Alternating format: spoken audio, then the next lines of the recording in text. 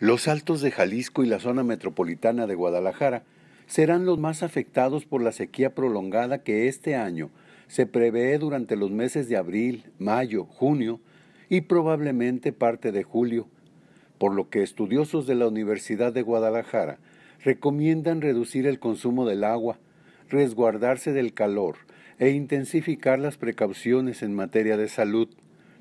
Escuchemos al doctor Arturo Curiel Ballesteros, investigador de ciencias ambientales del Centro Universitario de Ciencias Biológicas Agropecuarias en la Universidad de Guadalajara. Todavía en Jalisco no identificamos el problema del incremento de la temperatura.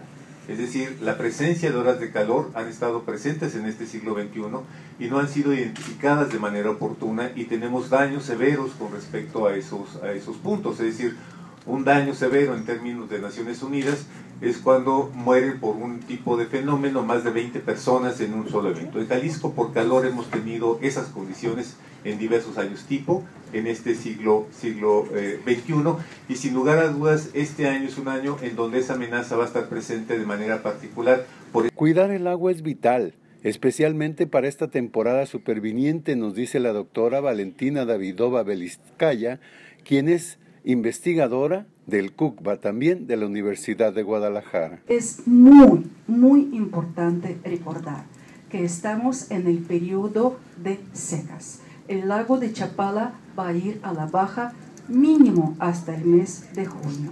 Por lo tanto, la cultura de prevención del uso de agua es uno de los términos más importantes que debemos promover a través de los medios de comunicación.